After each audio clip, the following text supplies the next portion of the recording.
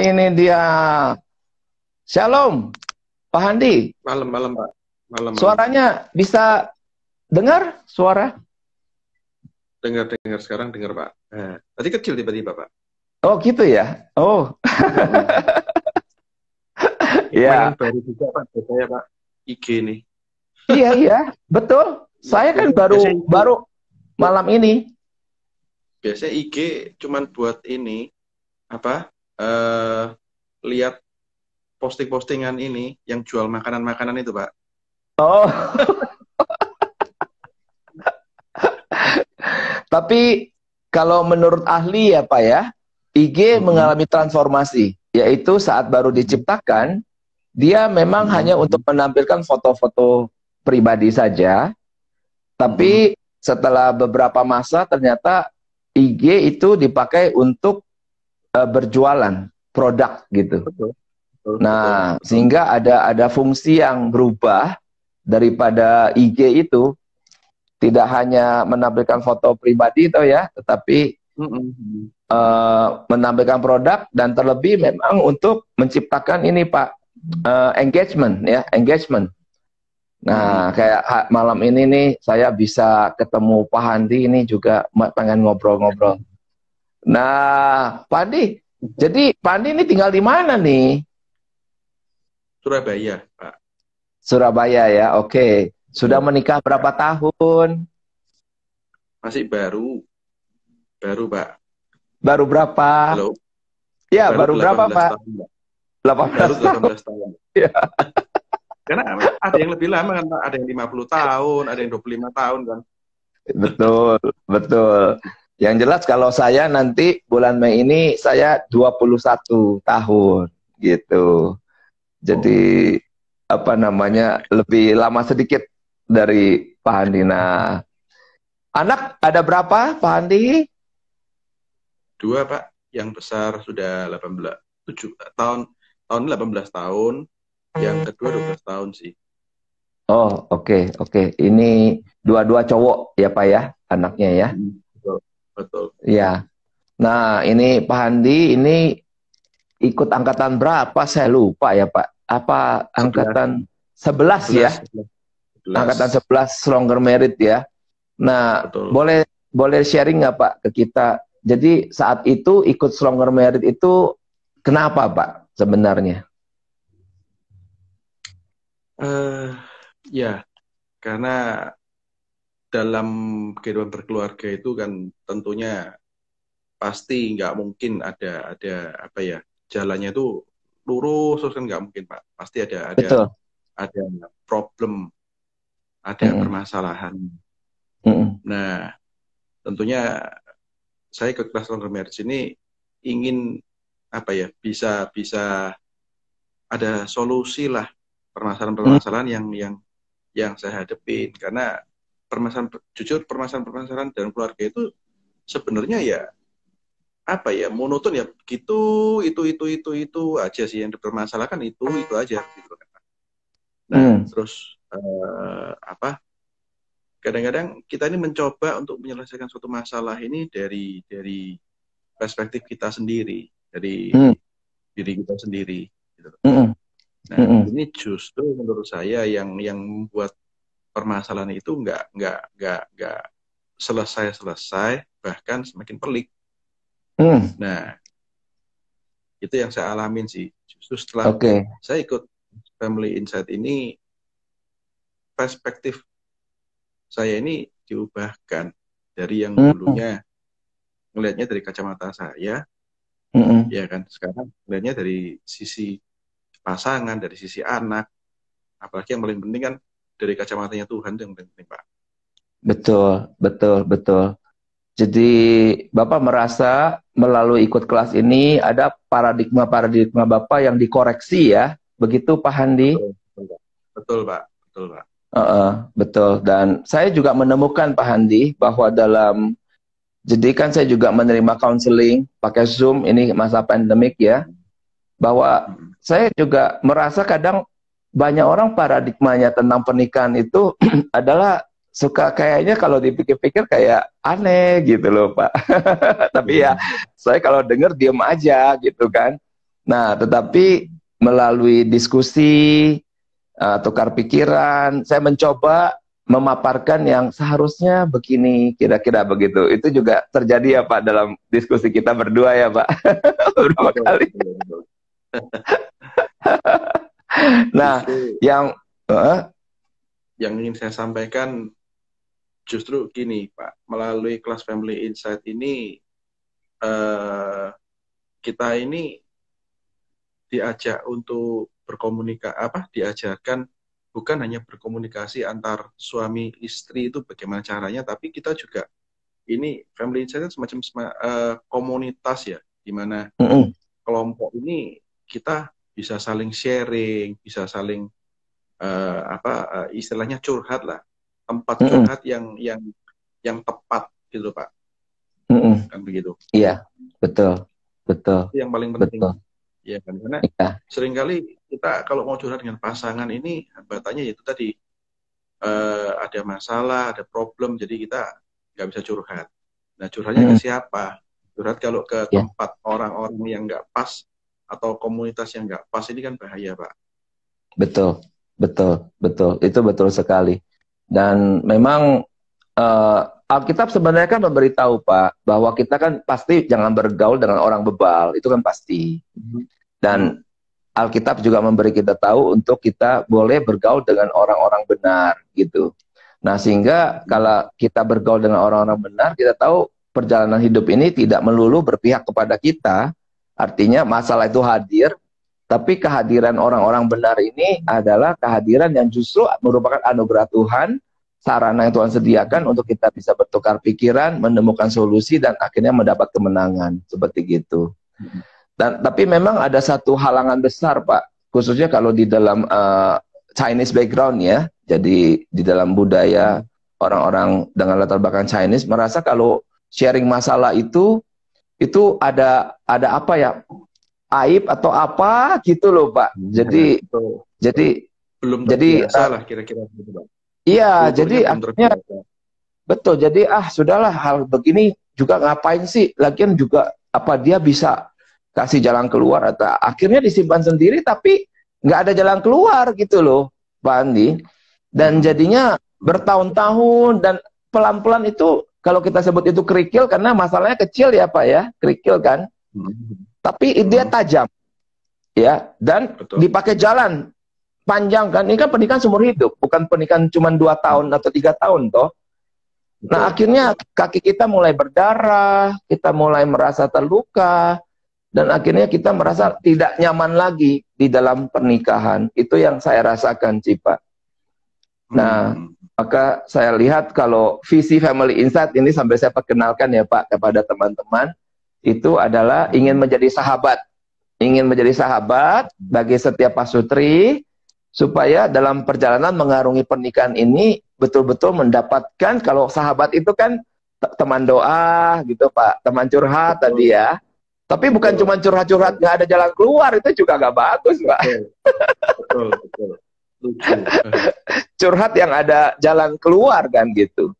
Nah, kalau Pak Andi selama ini merasa keberadaan saya sebagai hamba Tuhan sudah jadi sahabat belum nih Pak buat Pak Andi? Silakan sharing. Gak usah ditanya Pak, ya kan. Kalau itu sudah pasti Pak, iya kan. Saya sudah merasakan justru dengan keberadaan family ini uh, apa ya? Uh, halo? Iya, dengar saya dengar, saya dengar suara Bapak.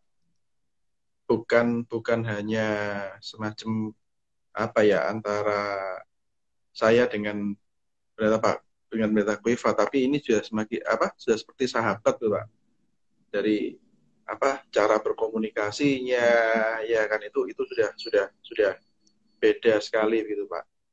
Gitu ya aduh ini beneran apa enggak pak saya saya justru mengharapkan saya justru mengharapkan untuk teman-teman yang lainnya yang yang angkatan-angkatan angkatan lainnya ini bisa apa ya mengalami hal yang sama lah seperti yang saya rasakan ini Pak. Iya, iya, iya. Pada dasarnya saya ingin menjadi sahabat bagi semua pasutri, terutama kepada para peserta Songger Merit. Tapi memang sering kali ada halangan-halangan tertentu. Salah satunya tadi, misalnya jikalau kita ada masalah, nah apakah kemudian saya merasa saya ingin mempercayakan masalah ini kepada pribadi ini, kan begitu. Artinya ada perhitungan-perhitungan tertentu. Tapi kalau dari posisi saya dan Liana, saya ingin menjadi sahabat dari para suami, dan Liana ingin menjadi sahabat dari para istri. Dan persahabatan ini tentu bukan hanya persahabatan misalnya kita bilang ngopi bersama, main bersama, tidak sih. Dan kita memahami bahwa dasar persahabatan ini karena kita membutuhkan kawan saat mengalami perjalanan pernikahan yang berat dan kita mungkin tidak sanggup atasi. Ada buku yang saya baca, Pak Handi, saya sharing sedikit ya. Itu hmm. The Passages of Merit dikatakan bahwa hmm. ternyata orang-orang yang sudah menikah di atas 25 tahun itu ternyata sudah beku hubungan suami istrinya gitu. Nah, jadi hmm. punya pikiran sendiri judgmental, judgmental tentang pasangannya gitu. Jadi kalau pasangan bicara apa, di sini udah punya paradigma sendiri yang negatif, yang judgmental begitu. Nah, hmm. sehingga akhirnya kalau tercipta segitu itu seperti lingkaran setan, Mbak ya di sini mau ngomong positif dianggapnya negatif nah ini responi di sini juga keki jadi puter gitu akhirnya mereka deadlock. Deadlock itu artinya kok saya kok susah ya ngomong sama kamu ya sekarang ya. Saya kamu tahu saya itu tidak begitu. Saya tidak begitu. Tapi tidak bisa gitu mbak. Itu seperti tercipta paradigma tahunan. Nah hal-hal seperti ini pastinya kan harus di breaking harus di breaking dan melalui kehadiran family insight dalam hidup Pak Sutri saya pikir itu semoga hal-hal seperti ini bisa dikurangi dan dihindarkan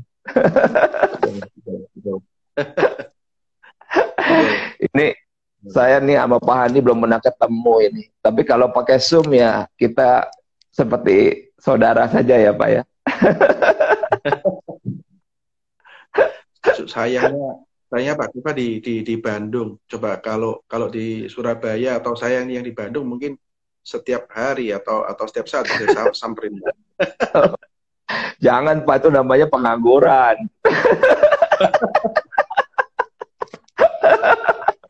kayak kayak gak ada kerjaan aja. Iya iya. Pak, mungkin Bapak mau tanya sesuatu nggak Pak? Yang mungkin nanti pertanyaan Bapak bisa memberkati juga teman-teman. Mungkin apa gitu. Hmm, apa ya? Saya cuma mau nanya ini kadang-kadang gini Pak.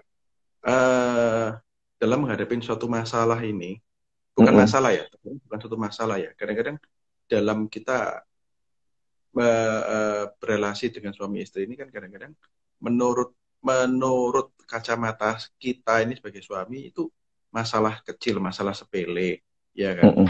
Dan kita ini yeah. sebagai suami ini kadang-kadang merasa ah masalah sepele begini aja, males ah ntar cerita atau kita uh, nanya malah ribut dan sebagainya. Kita lebih banyak mengalah, lebih banyak diam, lebih banyak nggak mau bertanya gitu pak. Nah kira-kira yeah. uh, kalau menghadapin uh, uh, uh, hal-hal seperti begini ini tipsnya seperti apa sih Pak kira-kira Pak? Oke okay, oke okay. ya jadi saya pikir itu dulu ya uh, sering loh Pak terjadi dalam pernikahan saya dan Liana dulu. Nah jadi saat mungkin di tahun ketujuh ya. Tujuh ya. Jadi saya menganggap apa yang Liana sampaikan pada saya itu nggak penting gitu Pak. Ya, karena seolah-olah saya mengerjakan hal-hal yang lebih penting. Kan saya berkhotbah, saya besuk, ya saya uh, berkhotbah, saya bikin khotbah. Kan artinya sesuatu hal yang sifatnya pelayanan penting bagi publik gitu ya Pak ya. Nah saat Liana datang kepada saya misalnya masalah anak, anak itu nggak mau makan, anak itu bikin uh, banjir WC ya toh, anak itu uh, berantem, oh saya kok merasa ah, apa sih ini? Gitu loh Pak gitu loh ya. Nah jadi bisa secara alamiah saya bisa jadi saya akhirnya jatuh kepada seperti meremehkan gitu Pak. Tidak menganggap penting. Tidak menganggap penting gitu nah tapi apa yang kemudian menjadi satu titik uh, turning point ya. Jadi pernah hmm. sih Liana itu ngomong gini, gua kayaknya emang nggak penting kali ya di hidup lu gitu, dia bilang gitu. Nah, jadi hmm. dia ada menyampaikan seperti itu. Jadi, nah saat dia berkata begitu itu saya coba merenungkan ya, apa iya dia tidak penting? Oh bagi saya penting dong Pak, betul gak? Ya penting dong. Kalau tidak ada Liana, wah hidup saya bisa berantakan ini. Nah, pasti penting. Nah, tapi saya juga, kenapa kamu bilang kamu nggak penting? Ya karena kamu tuh kayak gitu sikapnya dan lain-lain dan lain-lain begitu. Nah, saya pikir hal-hal seperti ini sering kali kalau dalam kehidupan saya sih Pak ya, saya tahu kalau dia terganggu, dia terganggu ini, dia terganggu, dia tidak nyaman, maka nanti kan dampaknya ke kita juga Pak. Ya hmm. dampaknya ke kita. Karena orang yang emosi negatif itu kan menular pak. Nanti mukanya sepet senyumnya hilang mukanya kecut kan gitu. Kan nggak enak ya. Nah saya pikir saya rasa di titik ini saya cukup memahaminya. Yaitu saya juga tidak mau ya. Misalnya saya pulang muka dia rasanya masem kayak gitu nah lalu bagaimana Memang kami pernah ada satu masa yang sangat berat, yaitu tahun ketiga pernikahan itu konflik kami berat sekali. Sehingga kami juga pernah ditolong oleh konselor, begitu. Nah, tapi pada dasarnya kalau kita adalah pribadi-pribadi yang sehat, pertemuan dengan konselor itu juga tidak banyak kali. Karena setelah dikasih lihat jalan masuknya, kita akhirnya bisa menyelesaikan. Nah, sehingga hal-hal seperti ini saya kemudian coba tangkap ada satu yang saya menjadi prinsip Pak Handi. Mungkin Pak Handi boleh pegang ya. Yaitu apa yang pasangan saya rindukan, butuhkan, inginkan, saya akan segera wujudkan. Gitu. Karena dengan demikianlah dia melihat saya serius dengan pernikahan ini. Nah, salah satu uh, arti daripada orang bijaksana itu dari bahasa Yunani ya. Eh, orang-orang uh, punya wisdom itu adalah orang yang serius menghadapi masalah yang serius gitu. Nah, maka saya belajar untuk uh, bukan sok bijaksana ya Pak, tapi menjadi bijaksana juga dipandangnya artinya oke, okay, rupanya hal ini bikin kamu keki, oke okay, saya ingin mendekatinya dengan serius. Ya, bagi saya mungkin ini kecil atau apa, tapi kok kamu sangat terganggu ya, sampai muka kamu kok sepet, sampai kamu juga keki. Maka saya ingin secara serius menyelesaikan masalah yang menurut kamu itu serius. Iya kan? Menurut kita kan mungkin enggak kan, Pak? Betul, Tapi betul. menurut dia itu serius. Makanya dia sampaikan kan gitu. Nah, melalui posisi ini ini saya pelihara sampai hari ini. Misalnya kemarin itu contohnya anak saya juga panggil saya eh, pagi-pagi, "Papa, boleh nggak sore mau ngomong?" gitu. Anak saya yang gadis itu. Nah, akhirnya sore saya adakan waktu, sore-sore jam 5, mau ngomong apa? Nah, lalu dia dia seperti bingung gitu mau sampaikannya karena begini, Pak. Dalam pandangan dia begini. Ini masalah besar apa kecil ya? Itu satu. Kalau ternyata masalah kecil kan diketawain lagi sama bapak gua. Pikirannya kan begitu ya. ya bisa gitu tuh. Jadi kan anak remaja juga rasanya jadi tapi dia bingung. Dia bingung. Nah, rupanya ada dalam percakapan WhatsApp teks itu ada seperti bulian gitu. Nah, tapi sebenarnya bukan masalah buliannya. Dia hanya ingin tetap menjalin persahabatan dengan orang itu. Tapi kalau dibully kayak gini, bagaimana bersikapnya gitu, Pak? Paham ya, Pak ya? Kalau saya dibully, saya tidak mau hubungan lagi, saya itu paling gampang. Betul ya, Pak? Paling gampang. Betul. Tidak usah nanya. Tapi begitu dia pikir, oke okay, saya dibully, tapi saya tetap mengasihi orang ini dan saya tetap ingin berelasi itu yang bikin bingung. Jadi dia minta masukan dari saya gitu. Hmm. Dan saat dia ngomong kayak gitu, saya coba dengarkan posisi saya kan sama Pak, karena udah terlatih selama ini saya terhadap Liana. Bahwa saat Liana menyampaikan masalah yang quote unquote rasanya kok remeh ya, betul ya, kok rasanya remeh ya, tapi kan saya take this very seriously gitu. I'm listen to her kan gitu. Nah, itu latihan juga rupanya Pak saat nanti anak-anak itu sepertinya masih kecil, remaja, lalu ngomong, mas, bagi dia serius. Bagi saya, ah, Itu bahkan kakaknya yang sulung kasih tau yang kayak gitu kalau gua gua gini gini gini gitu. Ditangkap ya Pak ya. Jadi kayaknya gampang, tapi saya tidak. Saya tidak menggampangkan. Saya anggap serius. Lalu saya dengarkan sampai terakhir, udah panjang itu Pak. terakhir gimana? Kamu oke okay dengan jawaban ini? Iya, saya sekarang tahu bagaimana bertindak. Nah, jadi dia jadi tahu bagaimana bertindak. Nah, saya pikir Pak Handi dengan istri saya pikir juga begitu. Ujung-ujungnya adalah kita berharap ada respon yang positif, ada tindakan yang positif, ada paradigma yang positif yang tercipta setelah terjadi pengungkapan dan diskusi. Sasarannya kan ke sana. Sasarannya itu ke sana, Pak. Itu yang kita ingin capai. Nah, begitu itu tercapai, saya pikir intimasi terjadi, Pak. Intimasi terjadi. Maka Pak Handi tidak boleh untuk misalnya ke depan ke depan menganggap misalnya itu tidak serius. Itu yang Bapak bisa coba latih ya. Jadi apa yang buat kamu mukanya kusam ya misalnya. apa yang bikin kamu keki? Nah, pada saat dia cerita, Pak Andi dengarkan serius gitu. Sambil doa sih Pak biasanya, sambil doa. Tuhan, tolong saya ini istri saya kenapa gitu. Bisa gitu ya pak.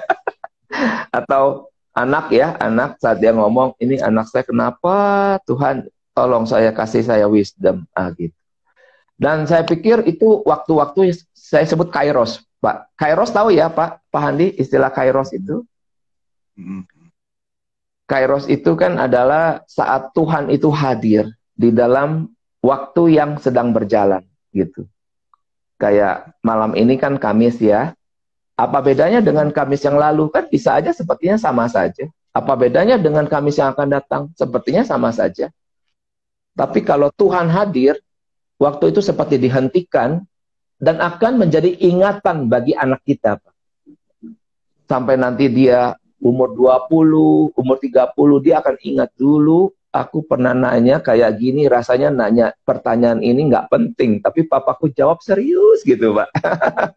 itu itu kairos, Pak. Jadi waktu terhenti masuk memori. Nah, nangkep Pak ya, itu ya. Nah, it, itu pun harus diciptakan antar suami istri. Sepanjang kita masih hidup, maka kita menghadapi dengan serius semua masalah itu kita anggap itu serius karena karena disampaikan ke kita, gitu. Kalau tidak disampaikan kan, artinya kan bisa selesaikan, kan gitu ya Pak ya.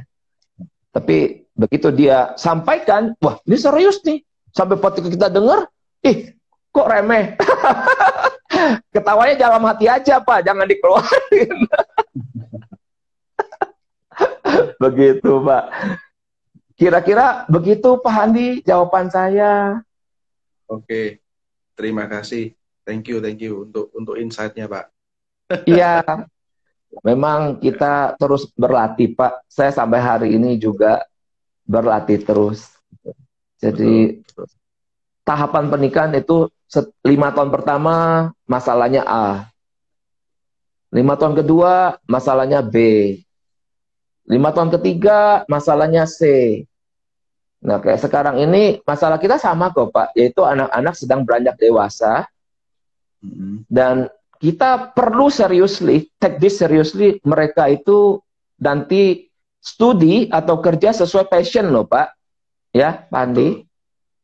Nah, itu itu harus karena kalau tidak mereka akan menderita semua hidup. Mereka akan susah dan jangan sampai salah jurusan sekolahnya. Itu kan Pak Andi.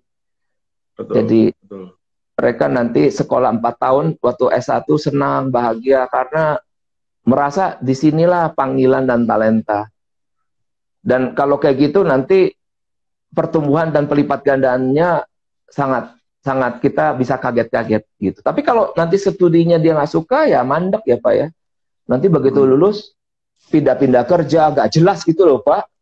Ya kita kita tidak mau kita tidak mau anak kita begitu. Jadi kepada teman-teman juga setiap tahapan saya kasih tahu ada masalahnya. Masalah kita sama Pak hari ini. Saya pun sedang mendoakan dan mengamati uh, anak ya, yang dua yang bawah nih. Kalau Justin kan sudah kuliah psikologi, jadi dia dia senang di sana, dia senang. Jadi dalam psikologinya itu saya lihat saya harap dia nanti bisa tolong banyak orang. Dan saya banyak diskusi, saya saya kuat teologi, dia psikologi, kita adu-adu pikiran gitu. nah ini Pak Handi untuk bintang ya, dia akan memasuki masa transisi nih. Maka tugas Pak Handi adalah bow down di hadapan Tuhan, bawa namanya dan menangkan dia. Karena itulah kita Pak para imam berdoa bagi anak-anak kita supaya sukses, tapi bukan hanya berdoa saja. Seperti tadi saya diskus dengan Ibu Meli, bahwa Pak Sujono itu, suami Ibu Meli, lagi pergi jalan-jalan sama Jason, anaknya. Maka ini juga saya minta ke Pak Handi supaya ada hubungan uh, ayah dan uh, putra gitu. Oke, oke. Oke, Pak Handi, okay. ya Thank you. Saya Yuk. thank you banget ya, thank Pak. sama-sama, Oke. Okay. Pak. Bisa di swipe ke atas, Pak, untuk exit. Ya. Nah, teman-teman, ya ini bisa Pak di swipe gitu? Gak mau Pak. gak, gak, gak, gak. mau ya? Loh, kok bisa ya gak mau ya? Nah, oke okay, kalau enggak gak apa-apa karena saya sebentar lagi akan selesai. Teman-teman, uh, ini saya akan apa namanya segera mengakhiri akan uh, eh, IG Live karena rencananya memang hanya satu jam.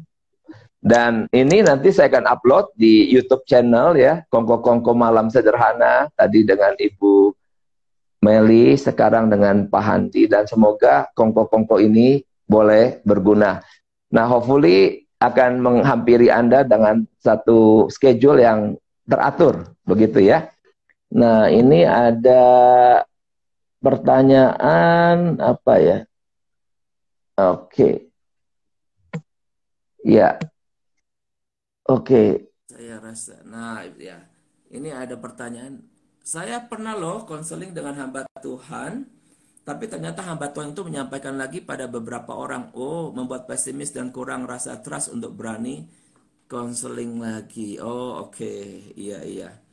Sebenarnya di dalam ruang konseling kita kan punya satu kode etik ya, Ibu Herni ya, bahwa kita tidak menceritakan di mimbar ya, sampai identitas orang itu keluar kalau saya, saya bisa ceritakan misalnya ada satu kasus, satu ketika saya temukan, nah itu bisa ya, tanpa menyebut kota ataupun identitas begitu. Dan sebenarnya kalau kita boleh uh, pahami kawan-kawanku, masalah-masalah di dalam rumah tangga itu sebenarnya bisa jadi masalah yang common. Nah, disebut common apa? Karena ternyata itu pun dialami oleh banyak sekali pasutri ya banyak istri misalnya menghadapi suami yang tidak peduli akan pendidikan anak. Ya, bukan satu suami, artinya bukan masalah kamu saja, tapi itu masalah dari banyak istri kan gitu. Atau banyak suami merasa istri itu seseorang yang tidak pernah mau mengalah, ya, sukar sekali minta maaf misalnya. Itu bukan masalah satu suami, kalau dikumpulkan bisa satu lapangan bola suami yang merasa seperti itu, ya kan? Nah, sehingga saya melihat bahwa masalah yang kita alami dalam rumah tangga katakanlah seperti masalah anak balita. Masalah anak balita secara umum di seluruh muka bumi ini bisa kita kategorikan ABCD. Nah, nanti di berbagai belahan dunia masalahnya ya itu gitu loh. Masalah remaja, secara kita kategorikan dia di seluruh muka bumi masalah remaja ya itu kan begitu nah Pak Sutri saya bisa definisikan di lima tahun pertama masalahnya apa saja. Nanti 10 Pak Sutri dikumpulkan masalahnya ya itu. Nah Pak Sutri 20 tahun ke atas dikumpulkan masalahnya ya itu. Lah lalu bedanya di mana? Bedanya adalah di dalam derajat kedalaman daripada masalah tersebut ya. Itu bisa beda-beda. Nah sehingga saya rasa uh, sesuatu yang adalah masalah kita belum tentu loh itu sesuatu yang kita alami sendirian ya. Uh, itu mungkin juga terjadi di dalam banyak keluarga dan mirip-mirip. Nah, makanya saya telah merintis satu pelayanan yang baru, yaitu pemuritan pasutri. Jadi saya akan membimbing gereja-gereja yang rasa ingin ada pemuritan pasutri. Bagaimana cara memulainya? Mungkin uh, tidak tahu, bingung begitu. Nah, tapi saat para pasutri dikumpulkan menurut usia pernikahan, ya. Nah, saat nanti di Komsel itu bisa sharing, oh kok masalah kita sama ya. Nah, di situ rasa ada kekuatan karena ada perasaan uh, bersama-sama mengalaminya. Nah, tapi kalau tidak ada komsel, kadang kita merasa kesepian. Kita merasa begitu sukar untuk menjalani pernikahan, begitu. Oke, teman-teman, ini saya senang sekali ya. Salam ya buat Ibu Herni dan juga teman-teman yang masih ada live di sini dan apa kita nanti akan coba atur waktu yang baik pula. Saya mohon undur diri. Permisi ya. Dadah. Nah, ini cara matikannya gimana nak sekarang? Dadah. Ya.